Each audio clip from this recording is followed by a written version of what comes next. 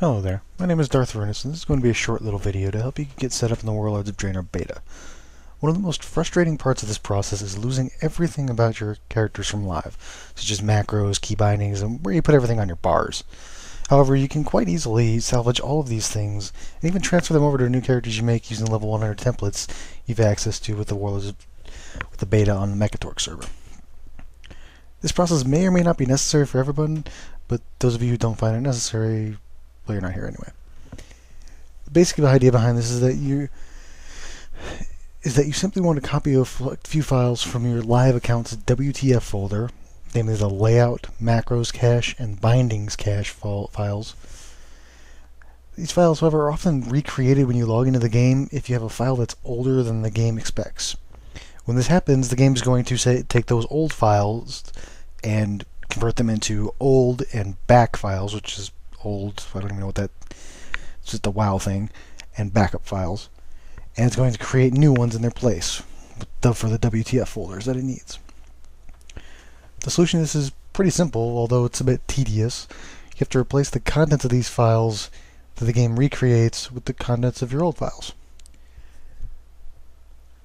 So you're going to want to open up your live WoW folder and your beta WoW folder and navigate through the WTF folder into your account folder which on the beta is just a sequence of numbers. I have no idea why. And then into the realm folder for whatever characters you're dealing with. For me, as you'll see in the background, this is going to be the Firetree folder on my live account.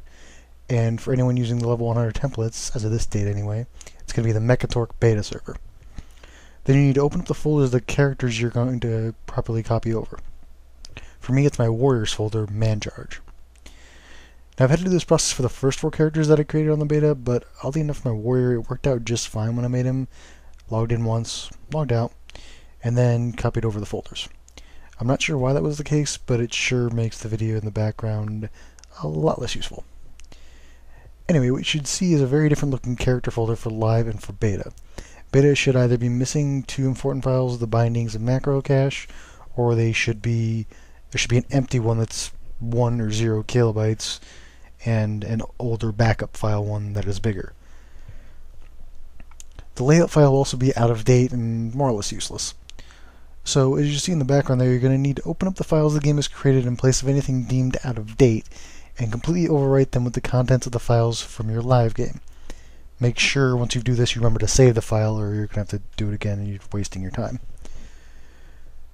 The program I'm using this for is Notepad++, which is a simple coding program I have. I use it because I edit MPQ files occasionally and do stuff like this whenever I'm, you know, transferring a character or name changing a character, because this is the same issue that happens in those cases.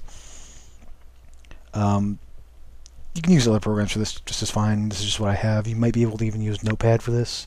Although, if I remember correctly, which is a while ago since I tried this, it comes up with a WoW doesn't know how to open a WTF folder, so I just use this. I would recommend it because it makes this whole process, along with MPQ stuff, a lot easier. Um, mainly because it formats everything nicely. You can see in here it actually looks like a coding program, just a very, very light version of, you know, Eclipse and stuff, if you ever have done any programming, guys. Um, but that should wrap it up. I mean, I hope to see you on the beta with me sometime soon, comfortable in your new setup. Thanks for watching, guys.